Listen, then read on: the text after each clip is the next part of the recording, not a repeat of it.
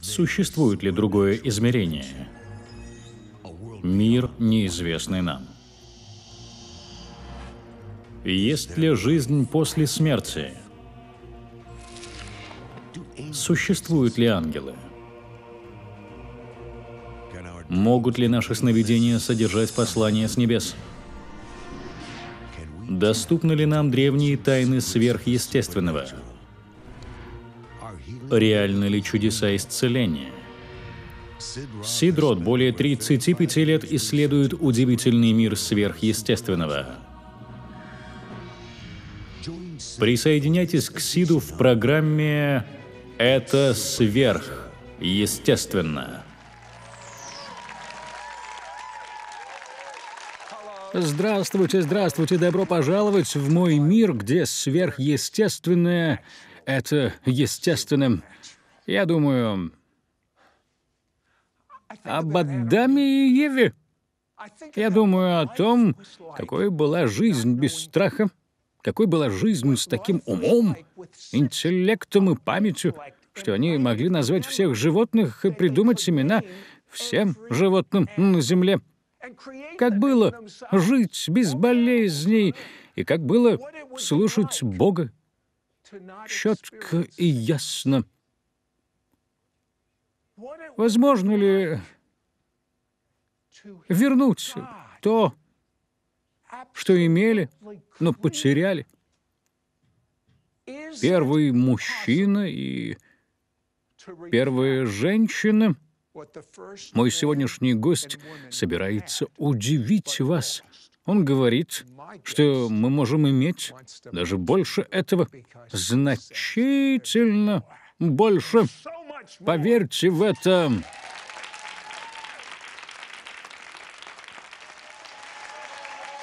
Итак, Дэвид, сколько я вас знаю, вы действуете в том, что называют славой Божией.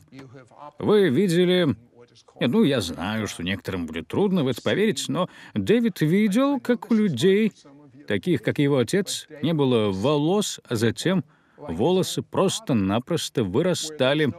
Дэвид видел все это. Расскажите мне об этом, ведь ваш отец, он э, еврей.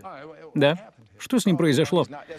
А, ну, вы знаете, у него было немного волос, а во время собрания я получил слово, что у кого-то растут волосы. Он проверил, и это было так. Я лично был на служении Дэвида и сидел за женщиной с седыми волосами. Я своими глазами видел, как ее волосы стали каштановыми. Я лично это видел. Поверьте, вы же знаете, что я следственный репортер. Я лично бывал на служениях Дэвида, посетил несколько собраний подряд и видел, как ремни на некоторых людях суживались, становились все меньше и меньше, пока не заканчивались дырки в ремне. Казалось, что они высыхают.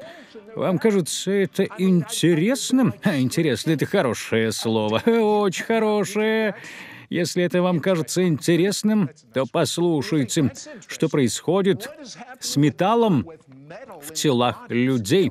Да, мы только что вернулись из Финляндии. Там проходило национальное божие движение. Титановые пластины в груди, в спине и в других частях тела начали исчезать прямо там на собрании. В Финляндии? Я знаю в Финляндии только то, что это религиозная страна. А что в Финляндии вообще э, новенького происходит? Там новое движение Бога по всей стране. Я не видел такого за все 20 лет своего служения. Это просто невероятно. Опишите, что там происходит. Люди отовсюду, из шести городов, просто прибегали за спасением спасением, исцелением, многочасовым поклонением, чудесами и знамениями. Вот как это было. Слава Божия просто переполняла то место, и любовь Божия была на том месте. А почему Финляндия? Ну, вы как лично думаете? Я имею в виду, а что не так с Соединенными Штатами? Мы что, швейцарский СССР?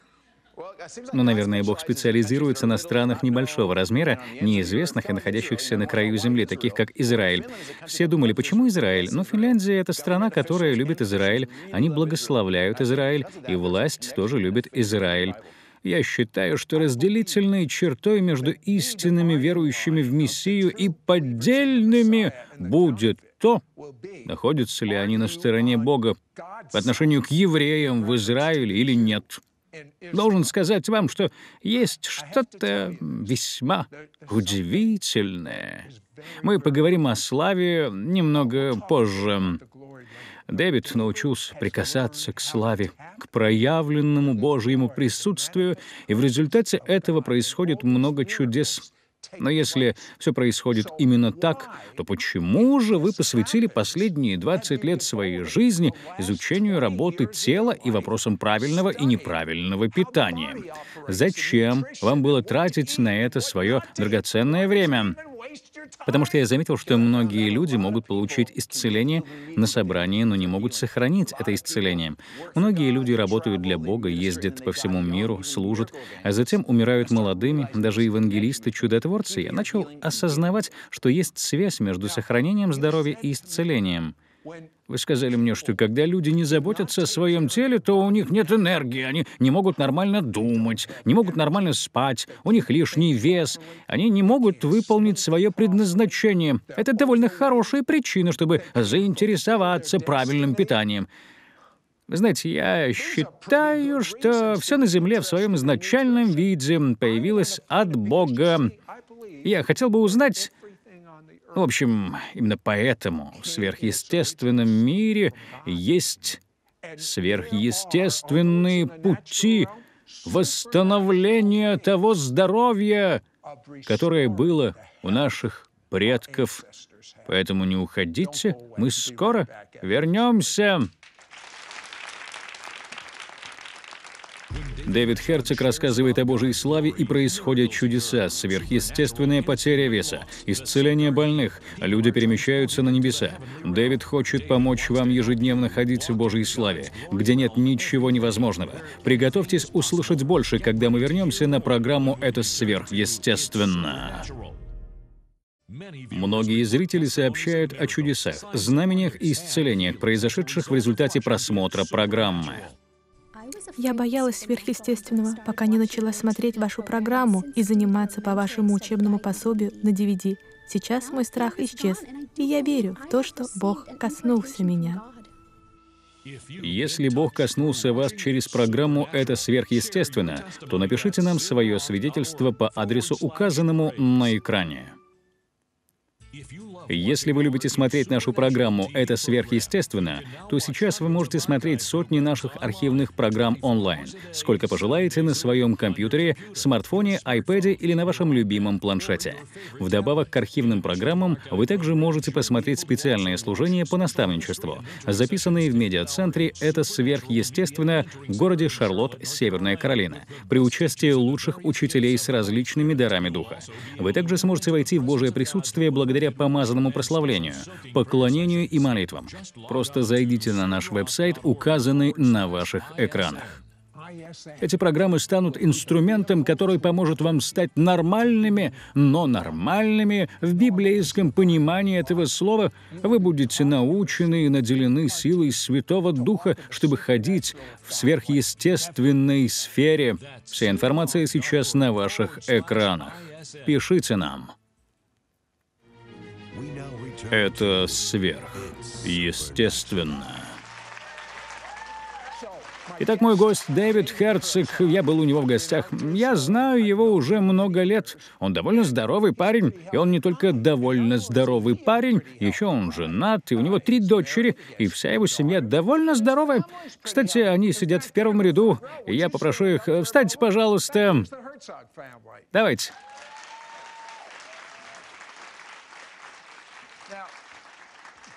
Это семья герцога. Дэвид, очевидно, что вы делаете что-то правильно. Расскажите мне немного о том, что сейчас находится передо мной. Это сок. Он был выжат всего несколько минут назад. Так вот, расскажите мне, каждое утро, когда вы просыпаетесь, что вы едите или пьете? Я готовлю различные смузи, как тот, что вы пьете сейчас. Выглядит хорошо. Как он вам?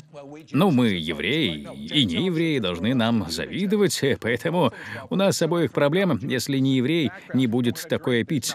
Э, нет-нет, я, конечно, шучу. Это живая еда. У вас в руках то, что я обычно делаю утром. Я кладу капусту, ягоды, как в этом случае авокадо, все виды животных, антиоксидантов. В качестве основы я использую кокосовую воду. Это очень вкусно. Это так, будто бы жидкая энергия течет по вашему телу, исцеляет ваше тело и дает вам энергию. Позвольте задать вам несколько практичных вопросов. Органическая еда, которую вы рекомендуете, более дорогая, да? А почему органическая пища лучше обычной? Просто там нет всех токсинов, опрыскивателей и пестицидов. Вашему телу не нужен весь этот мусор. Это очень вредно для вас. Вы получаете значительно больше питательных веществ. Когда вы покупаете, например, органическое яблоко или грушу, то получаете в 10 раз больше питательных веществ, чем в неорганическом. Когда вы учите, то учите о том, о чем я, честно говоря, знаю не очень много и не понимаю, почему это так важно. Вы говорите о том, что необходимо каждый год очищать кишечник и печень. Объясните, почему вы говорите о таких вещах? Конечно, с каждым годом вы становитесь старше, и ваш организм уже не производит того, что раньше, особенно в современном мире. Так что в вашем теле есть мясо, которое накопилось там. Подождите, это действительно правда, да? За годы? Да. Какая гадость. Именно так.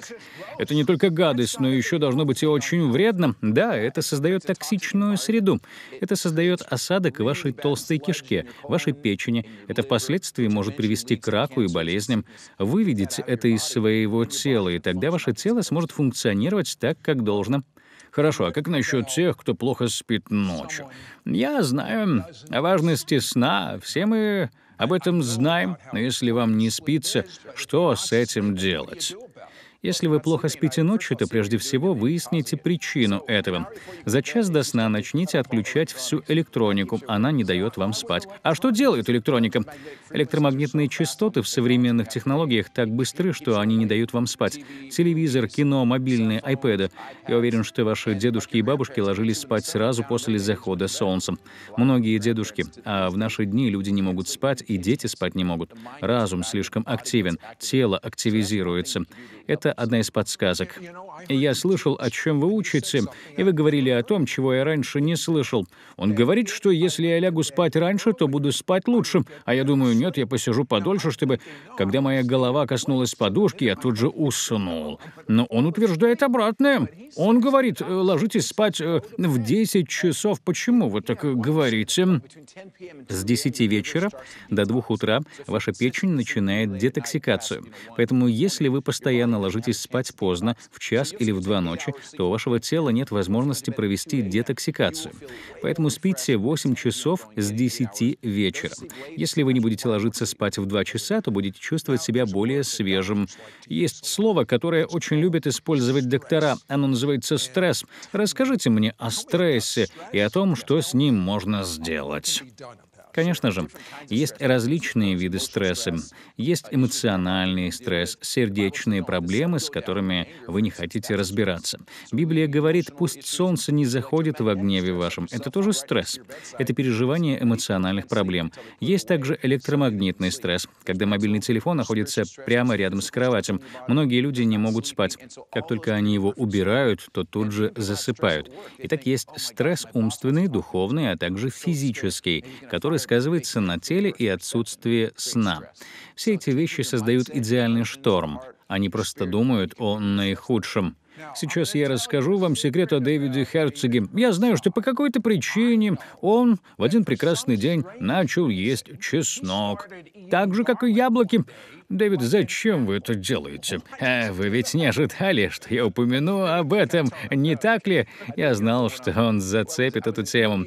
Как-то я был в Индонезии, и, кстати, это очень вкусно. Знаете что, разве было бы не лучше, если бы я просто взял несколько ягод, бананы, капусту и съел все это? Прежде всего, таким вот образом вы сэкономили своему организму час или даже несколько часов на переваривание, в отличие от жевания. Так это попадает прямо в вашу кровь по сравнению со съеданием тех же самых ингредиентов. Во-первых, вы не сможете все это съесть, потому что очень быстро почувствуете сытость. Хорошо, а теперь я бы хотел узнать о поедании чеснока, как яблок. У меня вырвали зуб, я находился в Индонезии, проводил очень большие собрания.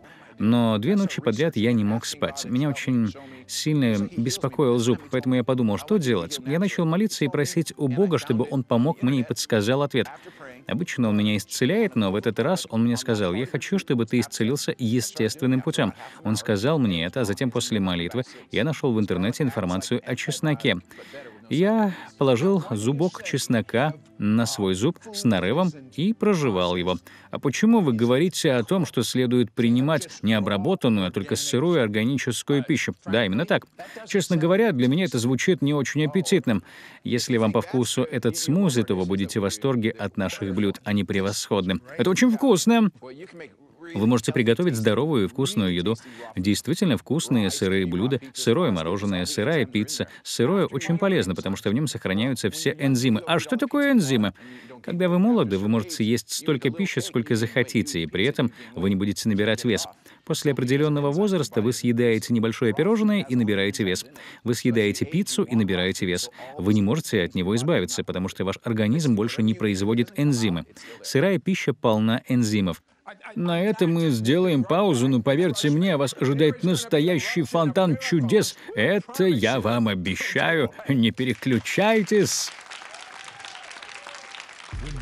Дэвид Херцог рассказывает о Божьей славе, и происходят чудеса. Сверхъестественная потеря веса, исцеление больных, люди перемещаются на небеса. Дэвид хочет помочь вам ежедневно ходить в Божьей славе, где нет ничего невозможного. Приготовьтесь услышать больше, когда мы вернемся на программу «Это сверхъестественно». Многие зрители сообщают о чудесах, знамениях и исцелениях, произошедших в результате просмотра программы. Вчера я получила исцеление во время поклонения на программе с Роем Филдзом. Меня долгие годы мучил артрит и боль в правом колене. Мое правое колено было мгновенно исцелено. Я ощутила, как сила Божья опустилась по моему позвоночнику. Спасибо Богу за вашу программу. Я записала программу с Грэмом Волшем и просмотрела ее в пятницу вечером. В субботу утром я проснулась и заметила, что небольшой, но раздражающий нарост на глазном веке полностью исчез. Слава Богу! Я только что снова просмотрела этот выпуск и верю, что Бог избавит меня от боли в шее, которая появилась много лет назад после аварии. Спасибо вам, Сид, что даете возможность Духу Святому двигаться на ваших программах. Если Бог коснулся вас через программу «Это сверхъестественно», то напишите нам свое свидетельство по адресу, указанному на экране. Это сверхъестественно. Вы знаете, в начале этого выпуска мы говорили о движении Духа Божьего в Финляндии. Этого бы не произошло, если бы Финляндия не была таким другом евреев в Израиле. Этого бы не произошло, если бы в Финляндию не приехал тот, кто разбирается в славе Божией, а именно это удивительный человек, которого зовут Дэвид Херцог. Он сегодня в студии. Дэвид, а что такое слава Божья? Слава Божия — это такое ощущение, будто бы вы находитесь на небесах. Это атмосфера, воздух небес. Это и есть слава Божия. Там нет болезни, нет печали, нет боли, недостатка, а только радость, мир, любовь, восторг от Бога, близость с Богом. Все то, что мы надеемся получить, когда умрем и попадем на небо, можно иметь уже на земле. Вот это и есть слава. Хорошо, а в чем разница между тем, в чем сердце живет Мессия Израилем, чьи грехи прощены, в ком есть Божие присутствие, и тем, кто имеет славу Божию вокруг себя? Вы знаете, я считаю, что Адам и Ева носили эту славу Божию как одежду. То есть я говорю о том, что они были буквально окружены ею на уровне физическом и духовном. Именно так. Это была слава Божия, да. Итак, зачем нам нужна слава Божия, если мы рождены свыше, наши грехи прощены, и Божие присутствие находится внутри нас? Я встречал множество разочарованных христиан, даже служителей. Они заняты своими делами, они молятся за больных, видят какие-то результаты, но в глубине души они чувствуют, что им чего-то не хватает. Они спасены, любят Бога, они не живут во грехе, но им чего-то не хватает. Они отчаиваются, начинают стучаться к Богу и открывают для себя славу Божию и говорят, это именно то, что я искал. Библия говорит, все согрешили и лишены славы Божией. Поэтому, когда мы находим славу, она покрывает нас как плащ. В славе все иначе. Вы, например, можете произнести чье-то имя и сказать «Боб, будь исцелен от рака», а он, находясь за тысячу километров от вас, будет мгновенно исцелен. В славе нет расстояний. В славе Бог изменяет временной континуум. Расскажите мне один случай, который придет вам в голову о том, когда вы действовали в славе. Однажды я ехал в машине через всю Францию. Это была восьмичасовая поездка. В машине были мы с женой, а за рулем наш друг. Было поздно. Мы проехали уже 8 часов, мы поклонялись и прославляли Господа. Мы начали чувствовать себя легче и легче, и через два часа мы были уже на границе с Бельгией, на противоположном краю страны. Естественно, это было невозможно, даже если ехать очень быстро. Очень захватывающая история, потому что в этой части небес время очень важным. Но, Дэвид, как я могу двигаться в этой славе? Как могут наши телезрители, которые смотрят нас сейчас, двигаться в этой славе, то есть проживать в ней день за днем, думать, что это нормально и естественно. Это звучит замечательно. Я переживаю славу время от времени, но я хочу, чтобы она была со мной круглосуточно, постоянно, не терять ее. Как вы пришли к этому? Во-первых, я был в отчаянии. Я просто сказал, Бог, я должен это иметь. У вас тоже есть это отчаяние. Я также знаю, оно есть у наших зрителей. Просто скажите, Боже, я так хочу быть рядом с Тобой, в Твоей славе, круглосуточно. Если вы жаждете этого, то ваша жажда будет восполнена. Если вы жаждете, и вы в отчаянии, то вы ее получите. Вы можете также делать и другие вещи. Когда я просыпаюсь утром, то прославляю и поклоняюсь Богу, потому что, как говорит Библия, мы с хвалою входим в Его дворы. Итак, я прославляю Его и поклоняюсь Ему. Его присутствие начинает приходить. Также есть кровь. Я говорю, Господи, очисти меня от всякого зла, сознательного и несознательного. Вы начинаете молиться со своего небесного места. Вы не могли бы помолиться за высвобождение славы, чтобы мы облеклись в славу Божию? Не могли бы вы помолиться за нас прямо сейчас? Отец, мы поднимаем наши руки к Тебе во имя Иисуса и благодарим за Твою славу, Господь. Очисти нас своей кровью и дай нам доступ к своему престолу. Ты сказал, что мы посажены на небесах. Открой сферу славы прямо сейчас и введи людей в такое присутствие Бога, которого они никогда раньше не переживали. Я вижу небеса, я вижу дверь, я вижу престол Божий, я вижу мириады ангелов, я вижу Иешуа на престоле. Просто войдите в эту сферу прямо сейчас и представьте Богу свою проблему. Дэвид, я ощущаю Божие нахождение, но вы рассказывали мне, что пережили огромное количество этой славы, когда были в Финляндии. Да, больше, чем когда-либо в жизни. Я думаю, что та же самая слава последовала за вами и сюда. Я думаю, что здесь есть люди, которым доктора сказали, что из-за рака им осталось жить совсем недолго. Здесь есть люди, которым нужно новое сердце, люди, которым нужны новые почки, люди с диабетом, у которых болит все тело. Здесь есть люди с сильной депрессией. Они плачут внутри, но улыбаются снаружи. Вы бы не могли помолиться за них прямо сейчас, Дэвид? Конечно же, я помолюсь прямо сейчас. Отец, во имя Иисуса, я благодарю Тебя, что Ты прямо сейчас проявляешь к телезрителям и к тем, кто сидит в студии, ту же славу, те же чудеса, которые мы совсем недавно видели в Финляндии, где слепые начинали видеть, глухие слышать, и многие души были спасены. Пусть та же слава, которую мы переживали несколько дней назад, сойдет на людей, которые смотрят нас сейчас. Господь, пусть Твоя слава придет. Я приказываю раку уйти во имя Иисуса. Чудеса с потерей веса происходят как в студии, так и с зрителями прямо сейчас. Я вижу, как глухие уши открываются во имя Иешуа. Я вижу, что в телах некоторых людей есть металл. Металл исчезни прямо сейчас. Болезни кожи исцеляются. Проблемы со спиной, которые мучили вас многие годы, исчезают. Кости, связки, седалищные нервы, копчик и диски — все приходит в норму прямо сейчас во имя Иисуса. Пятна в глазах и катаракта. Уходите. Кто-то принимает лекарства, и они вызывают побочные действия. Я повелеваю вашему телу исцелиться прямо сейчас. Вы не можете ходить или не можете двигаться рукой или другими частями тела. Паралич. Уходи. Прямо сейчас нас смотрит женщина по имени Мария. У вас серьезные проблемы с горлом и с иммунной системой. Мария, будьте исцелены прямо сейчас во имя Иисуса. Если у вас в теле есть проблемы, то просто возложите руку на больное место во имя Иисуса. Дэвид, сейчас произойдет величайшее из чудес, если вы верите, что Иисус умер за ваши грехи, и вы сказали Ему, что сожалеете о своих грехах, и попросили Его войти в ваше сердце, сказав Ему, «Иисус, Ты мой Господь», то это свершилось. Смотрите в следующем выпуске.